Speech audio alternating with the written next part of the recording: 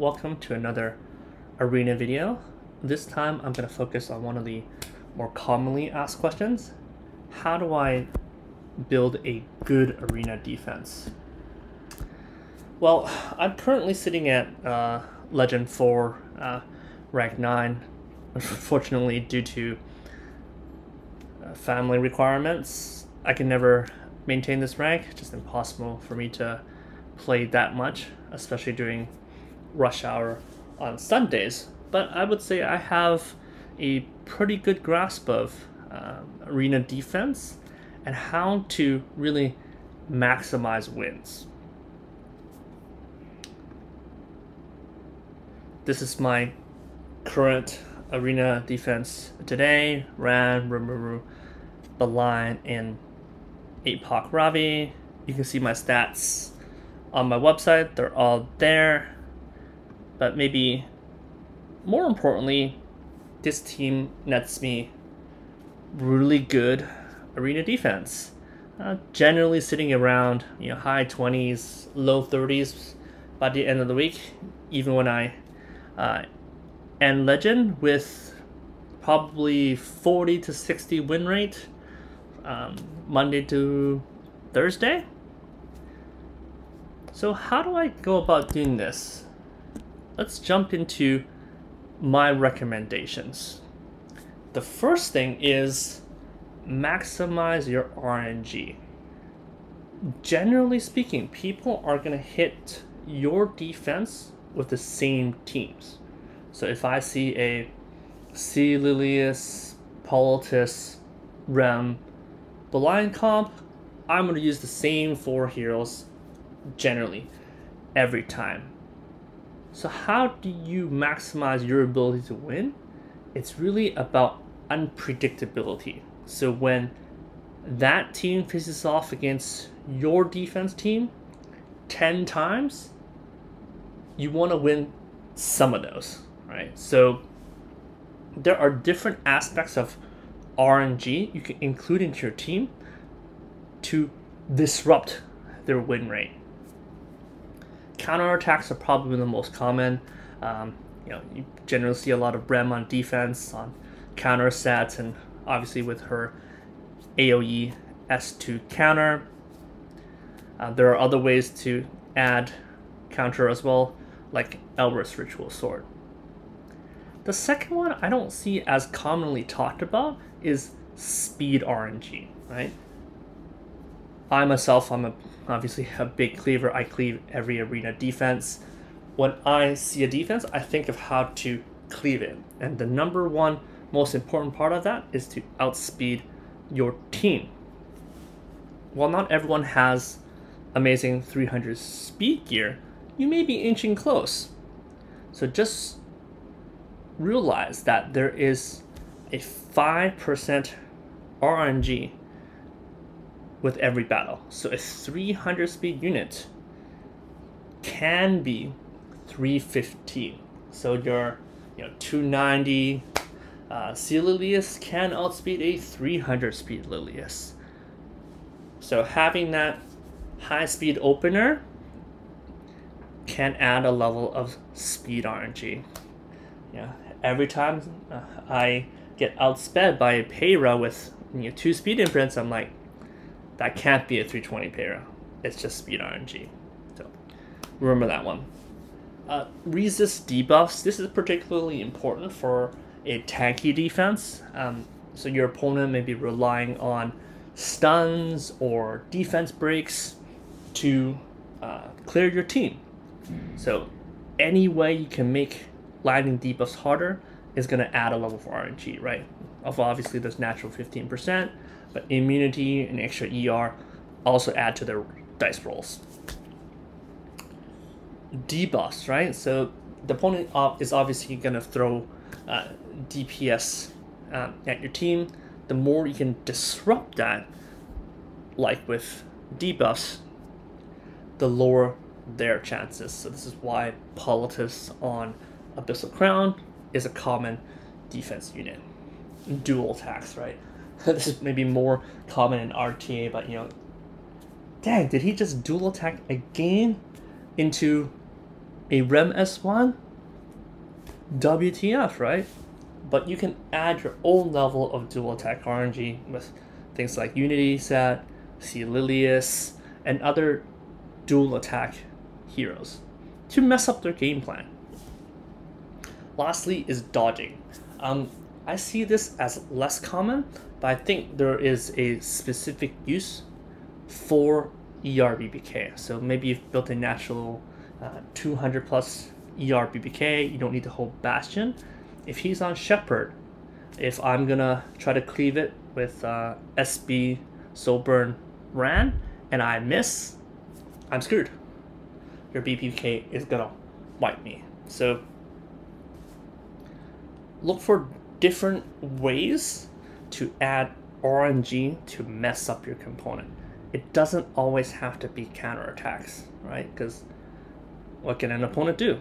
Just throw it over water, right? So look for other ways to add RNG and try to stack them. Element of surprise. So um, this is probably the most common suggestion when you know, people post on Reddit how do I build an arena team. But I think it's important to note the different ways you can surprise someone. Uh, this has become an extremely good strategy with the blind changes in arena. So I feel generally there are three ways to surprise. Um, the first one being speed, and generally that's having a really fast opener, whether that's a traditional opener, like you know a 320 Peira, that will surprise me, or a lesser seen one, like a 280 speed Landy. You know, maybe uh, I see a Landy FCC defense, I'm like, I'm just gonna cleave that uh, with a pretty cigarette. Turns out the Landy is 280, I'm screwed. But I think it's also important to consider the turn two speed units or counter speed units, I like to call them. Stuff like Dilibet, right? So, uh, one of the ways that I cleave is with uh, defense break, uh, with Vildred, and if I'm faced up against a 230, 240 Dilibet, when I hit S3 on my C Lilias uh, or Flan, it's gonna cut me, right? It is abnormally fast. So that kind of leads to the second one, which is kind of really closely related, using non-standard builds, right? When you see a run, what do you expect? Sigurd Scythe, no speed on counter. When you see a FCC, right, you expect 30k speed, immunity, etc., etc. So when you're planning out your attack, you're going to take those standards as uh, defaults, right, into account. So if you can put in something that's non-standard, that may disrupt their game plan. So uh, good examples are, you know, like a super slow Aola. Yeah, I run on into these all the time in, in Guild Wars, right? I bring hand guy against Aola, but my hand guy's 260. So if that Aola's 220, I'm screwed. You know, maybe there's a fast uh, DPS Rimuru. You're expecting a 200 speed Rimuru on PoE nowadays, but then he comes up and one shots your crowd. Those are ways to surprise your opponent. And lastly is just extra tanky teams. You know, you see a uh, slow, you know, Belian, APOC, Ruel. Say, I'm just gonna strays that, or however you deal with these ultra tanky teams. But they're all base speed with just ridiculous tank, right? Maybe like a 30k a Ravi. That's just not gonna be fun, and may cause me to match. I've run into a, a few of those myself. And then, you know, lastly, I do get questions of, hey, hey, can you just give me a team? Like, what team should I put on my arena defense? Just copying a team won't net you to win. It's just a specific combination of heroes and gear and tuning that's based off of the previous two points. That's really going to help. But I think there is a general template to follow. and that predominantly consists of one opener, um, you know, a Ran, a C Lilias, a Peira, two DPS, and one utility. If for those of you without you know, good speed gear, you can swap the opener to another utility. Right? DPS is straightforward. This could be a uh, traditional DPS like an RB, or it could be a bruiser. But it has to deal damage, right? The utility should help you counter some type of strategy against your team, right? So if you're running a no opener type team, you want some type of anti-cleave, right? So Politis is a great example, right? Especially on Abyssal Crown, disrupt that team. If you kind of look through top 30 defenses, you'll see a very similar uh, pattern, right? If you, I'm on Asia here, Enier's team, yeah, opener, C Lilias, 2 DPS, Malign Rem, and utility with C Armin, right? She helps to mitigate damage, so it can't be cleaved as easily. Uh, second one, opener C Lilias, Rem, and Brumaru as DPS. Politis can be as well, and Politis being additional utility to declare cleave. It's a good idea to just kind of scroll through these and take a look at which ones maybe uh, has heroes you've built already and use that as a starting base and then adjust accordingly. Lastly, there's just a bunch of kind of simple ways to improve that I think are just commonly overlooked. The first one is adjusting your heroes and builds based off of your losses. So if you kind of go back to my defense team, um, previously I was running Ran, Belian, APOC, and Ameru. Just pop her here. And when I look through all my defense logs, everyone was just throwing in Crow, SSB in particular. Like, that's just out of blue. And, you know, SSB auto is one of those uh, comps you should really be able to deal with with your defense. So I'm like, that's not gonna work. So I changed it to Rimuru. Actually to a bruiser Rimuru specifically on POV. And while I was still getting a good amount of wins, I noticed that maybe 80% of the people that beat me were using Crow. So I'm like, Crow? Why isn't my Rimuru do anything? Oh yeah, he's on Bruiser. He'll survive Rimuru's S3 and just horse somebody. So I went ahead and changed my Rimuru to a DPS build, right? 300 crit damage, uh, 3.7k attack, and he does 28k with the attack buff from Ran, uh, Ran Silver Rain, to one shot basically any crowd. And all of a sudden, my defense rates shot up again. So making those adjustments is really, really important. The second one is use common teams and heroes to avoid standing out, right? When, I, when someone is going to attack, they're going to take a look at the different opponents, right? And if they attack you and you have some super special, unique arena defense team, they're going to remember you. Even with blind, right? They can see the heroes and they recognize, hey, man, no one uses Spez on defense. So every time they see Spez, they're going to know it's you. So try to use common heroes and templates so you can kind of blend in, right? Even using a the most common team is a great strategy and just modifying it once again based off of those surprise elements we talked about.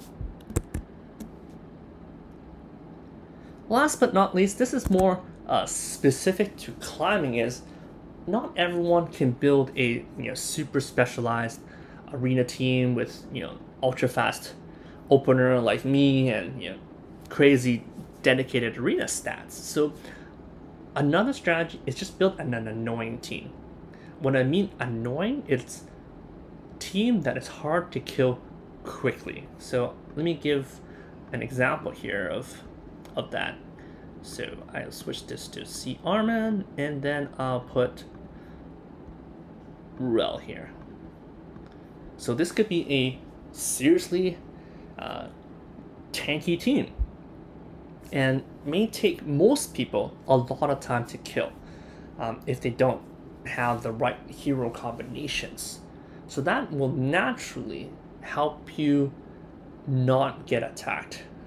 Actually, from an efficiency standpoint, that may be the best way because the more that you're attacked, the more points that you lose, right?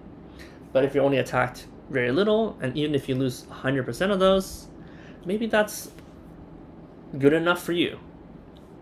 So definitely keep that in mind as another way. So I'll quickly just scroll through my hero builds here in case um, you guys don't have access to my website. Ran is ultra fast, right? Uh, he meets the RNG element with speed RNG up to basically almost 330, uh, 335 speed. So even if a, uh, an opponent has one or two speed imprints, I could possibly outspeed him. I have RNG there. I apply debuffs with uh, Belian. She's built non-standard ultra fast on Holy Sack so that she can apply her debuffs. She's not on Alberus injury or counter, so Rowanas don't work. They bring in a Rowana, that's a dead pick. Right. Disruption, adding another level of RNG, right? Then you've got APOC. She's on a pretty standard build nowadays, but um, obviously mine is uh, very high gear score and does an ridiculous amount of damage for a you know nearly 26k uh, a Ravi. And lastly, you know we, we talked about this before, um, the Rimuru on a non-standard pure uh, DPS build. I've been thinking of actually removing Draco Plate and changing to uh, a Spear of Purification, just to give him that extra uh, CR push. I think the damage is fairly similar, if not um, more of that as well.